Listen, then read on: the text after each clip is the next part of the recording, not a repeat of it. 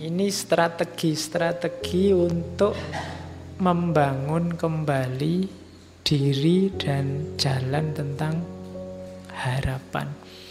Ini nanti silahkan kamu pelajari satu-satu. Yang pertama, biasakan self-talk, tapi yang positif. Ngomong sama diri sendiri. Yang positif-positif. Jangan sering dimarahi. Banyak orang suka marahi dirinya sendiri. Kalau gagal kan kamu selalu memarahi dirimu. Ada yang tidak cocok kamu marahi. Saya kecewa pak dengan diri saya. Harusnya saya itu rajin tahajud loh. Sekarang kok begini saya.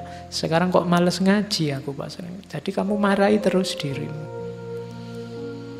Lebih enak lakukan self talk yang positif.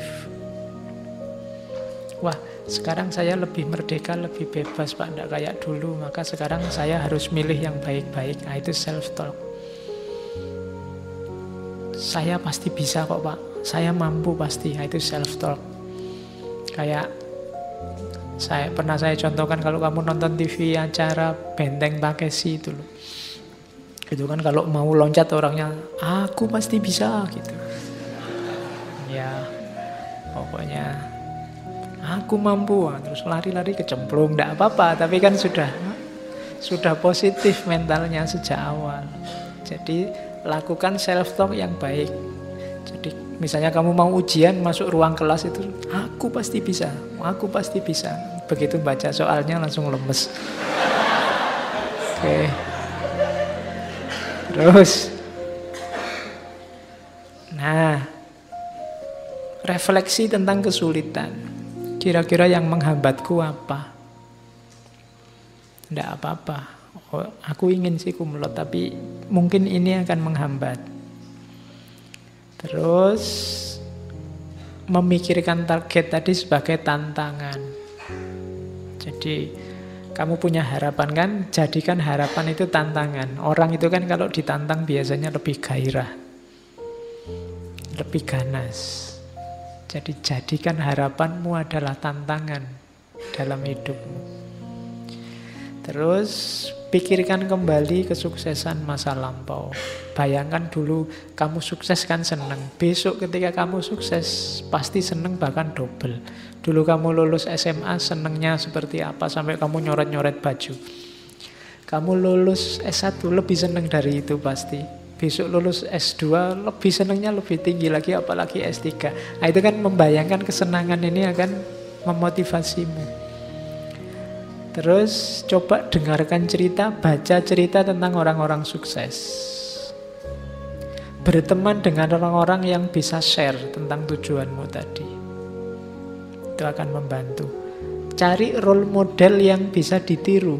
Kalau cita-citamu jadi dokter ya cari dokter yang bisa ditiru. Kalau mau jadi dukun ya dukun yang bisa kamu tiru. Kalau jadi jadi yang bisa diimitasi. Terus kalau ini di luar itu tapi penting makan, olahraga, istirahat. Karena kamu butuh tenaga. Kalau ini tidak usah dipikir, dijalani saja. Pendukung utamanya itu kurang istirahat, sangat berpengaruh, apalagi kurang makan. Olahraga maksudnya arahnya ke kesehatan, tiga hal itu jaga kesehatan. Yang selanjutnya menurut saya perlu dilatih tertawa pada diri sendiri. Terutama pada saat kamu stuck. Stuck itu macet.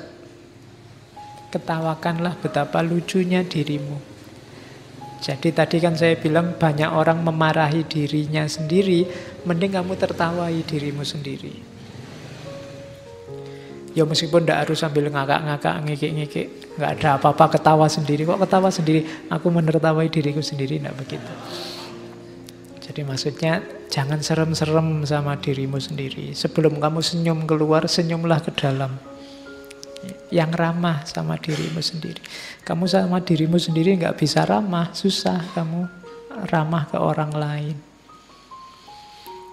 Jadi latihan tersenyum sama dirinya sendiri cepet-cepet kembali ke hitoh, kembali ke orientasi kalau stuck. Kadang-kadang orang itu kan banyak peristiwa yang membuat kita nyeleweng dari jalur ya cepat-cepat kembali. Tidak apa-apa kamu memberi hadiah pada dirimu sendiri. Untuk sub-sub tujuan misalnya saya ingin besok kumlot semester ini bisa IP 4. Wah ini syukuran ini ngasih hadiah. Kalau kemarin di angkringan cuma satu bungkus sekarang tak kasih hadiah dua bungkus. Nah itu namanya ngasih hadiah diri sendiri. Oke, tidak apa-apa, sering-sering main gitu, ngasih reward and punishment dirinya sendiri. Terus mendidik diri untuk keterampilan-keterampilan yang dibutuhkan itu pasti.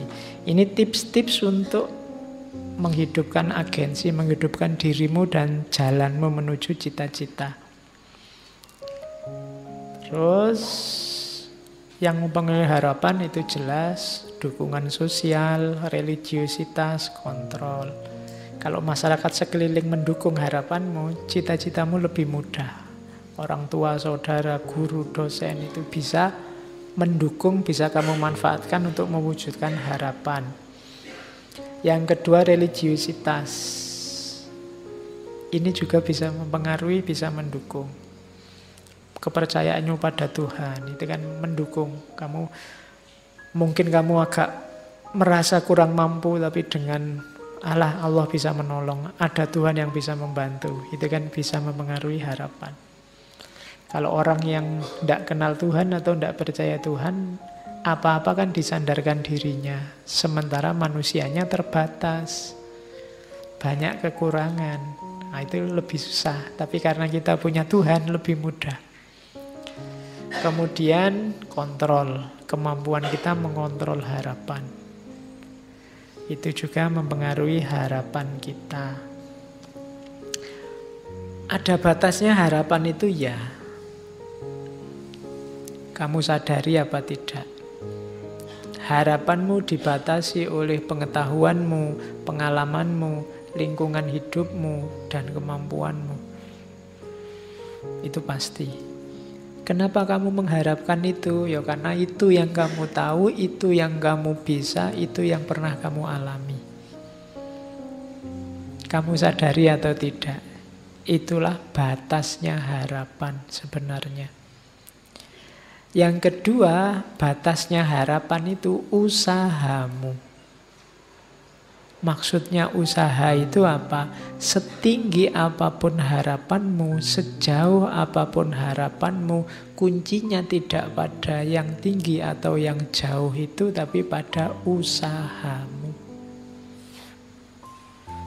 Jadi harapan itu penting, baik, tapi kuncinya ada di usahanya. Yang ketiga, kepercayaan pada dirimu sendiri, pada masyarakatmu, pada Tuhan. Itulah batas harapanmu.